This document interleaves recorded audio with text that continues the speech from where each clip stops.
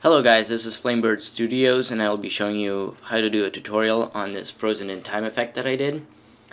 Um, some people requested a tutorial um, over here. That would be a great Christmas present. So here it is. This is what we'll be making.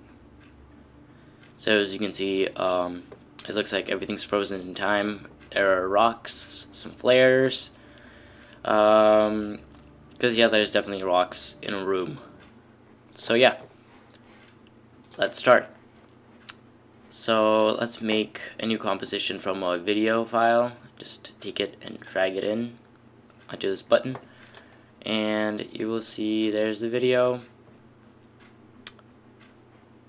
So make sure your actor person is not moving or moving um, like not moving at all. So let's crop it now you will need to motion track this clip and if you're in After Effects CS6 it already has a motion tracker. If you go into um, the tracker there will be track camera. But since I'm using CS5 I'm using um, the Foundry's camera tracker which is the best camera tracker that you can have in After Effects. So here's my clip all you have to do is just click track features and it's going to go through and track these features. I will probably speed up or crop this part just so the tutorial will be faster. So we are almost done. There's just a few frame few frames left. So there we go. It tracked um, all the features. Now you have to click solve camera. This will be pretty quick. There you go. And over here, total RMS projection errors. It tells you how many pixels it would be off during the video. Which is, if it's like around 2 or less, it's totally fine. So don't worry about it. So there you go. Now it tracked all. The, uh, now it solved the camera, so it knows the camera motion. And as you can see, you can see these red. Um, red ones you can delete them if you want it to make um, to make this more accurate, but you don't have to. You can just delete a few. It'd be fine. You'll live with it. So then just click create scene. And what that will do, that will make um, a null object and a camera object, a camera. So now as you can see there's a null right here in 3D space. So if you were just get if you were to make like random text and say hello and make it 3D, it would it would like be in 3D space right here. So that's pretty much the tutorial, but obviously I'm not gonna stop it here. So what I did, I made a new light, a new light. That's for the flare, so I'm gonna call that flare. And check made the position be on zero in Z space, so it would be right here. And then just positioned it to be to look like it was connected that's too far back. So let's come over here. That's still too far. Um, a little closer.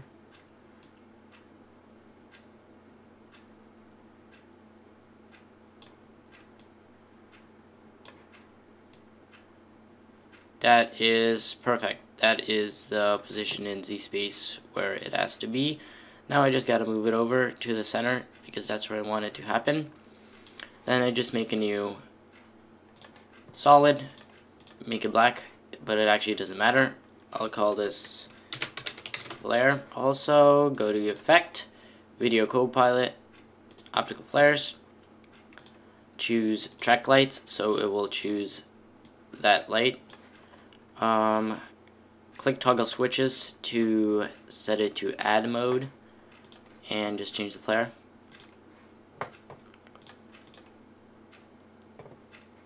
do something nice. I like the monster flare.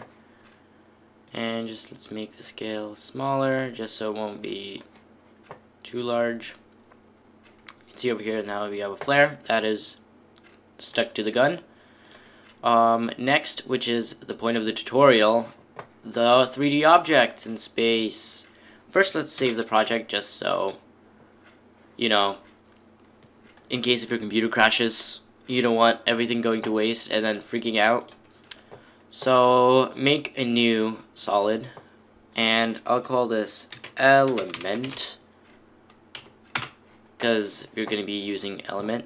Video Copilot's element which is a really good product. I suggest you buy it. For the price, it's amazing. So let's go to Scene Setup and select something over here in Starter Pack. It gives you a rock. So let's select this rock and I want to see the environment just just because I do. So as you can see this rock looks pretty nice. Let's turn off the draft textures. But I do want to make some corrections to it uh, because I don't like everything about it. So what I want to do is the bump. I want to bring it up because I actually want it to be more like rocky. I don't know how I would explain it. So as you can see there's like a difference right here. Also this the specular I want to bring it just a little bit down so over here, and it's going to be way too big for our scene at first. Right here, as you can see, it's way too huge. Oh, actually, no, I don't want to bring the bump too much, because then it's going to make it look all weird. Okay, so um, now go to particle replicator, and I just want to have like five, five of them for now. You can't see the difference right now. Um, then I'm going to go to particle look, and obviously it is way too big. So let's scale this down. And right now you see it's black, but don't worry about it. You'll change it in a second.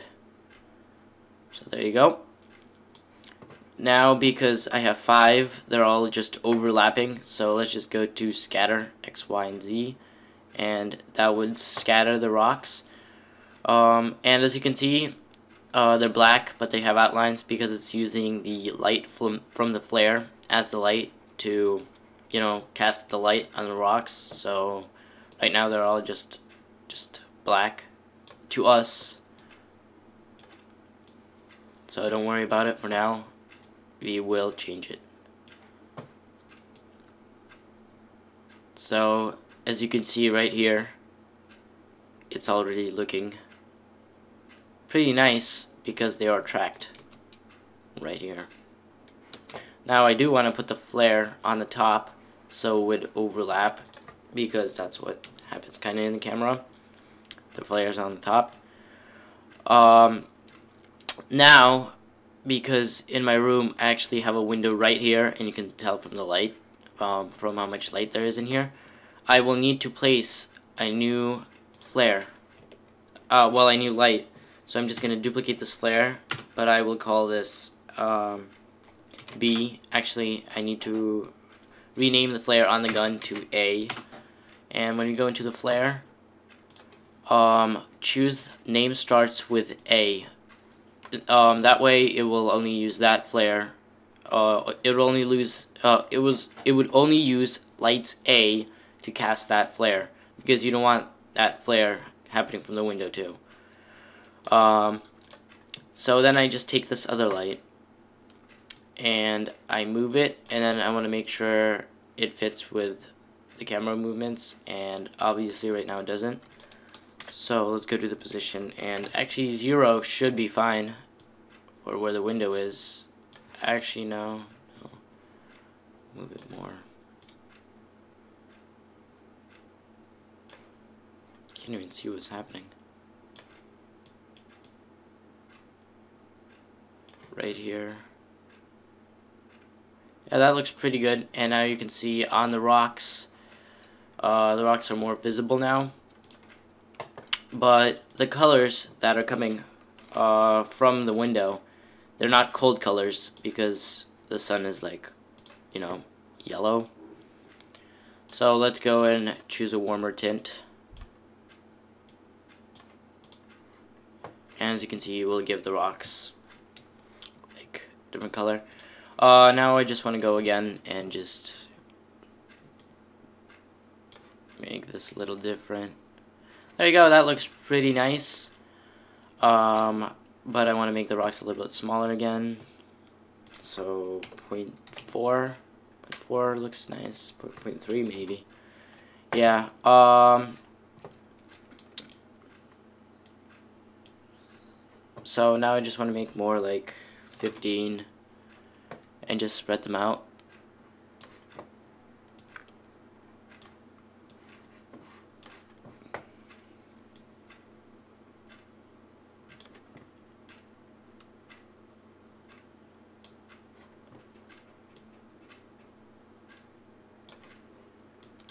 So yeah, that is pretty much how how you make this effect. Um, and then obviously I put color correction everywhere. So make a new null object, I mean adjustment layer, looks, magic bullet looks, and edit. And I just start with a preset. Um, I usually start with Epic. And then I just add my own stuff to it.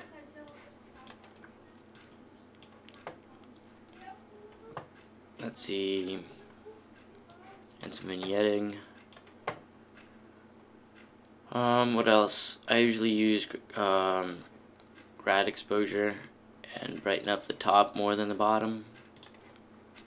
So that looks pretty nice. Then I use a new solid. I make it black. I put a mask on it. Then I extend rights and lefts.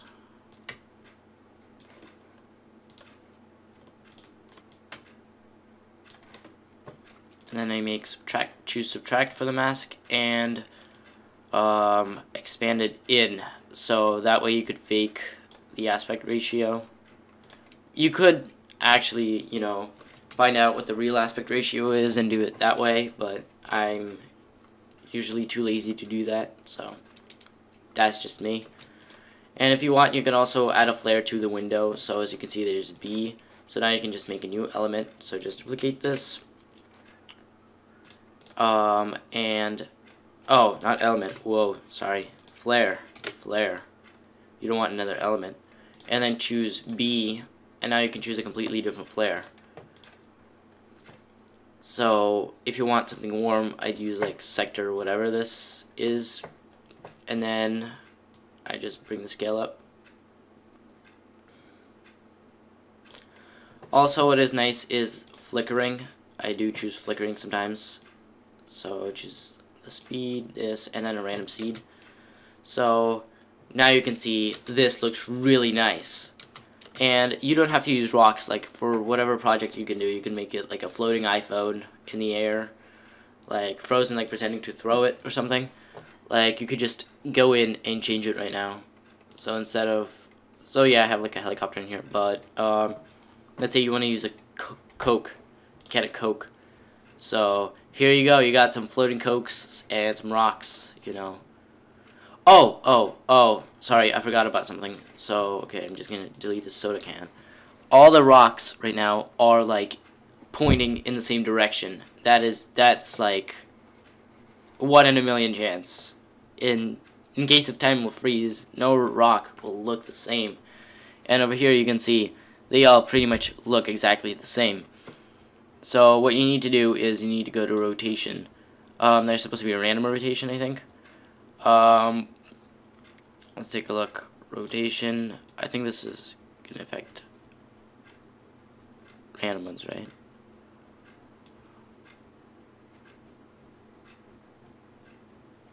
Yeah, yeah, this one's random. So just change the rotation so all rocks are not going to be pointing in the same direction. Um, Let's see what else is in here. So yeah, you can just play around with settings now. Um, so there you go.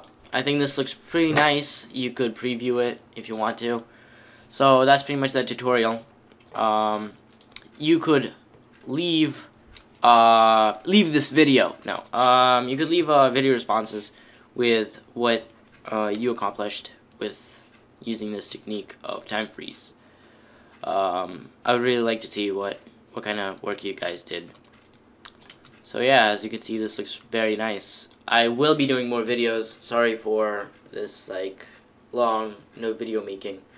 I was actually making another video not that long ago. I haven't had the chance to upload it yet. Plus, I'm making another film.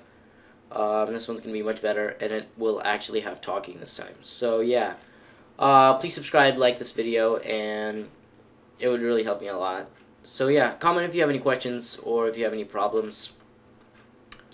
So, yeah, thank you. Thank you for watching, and goodbye.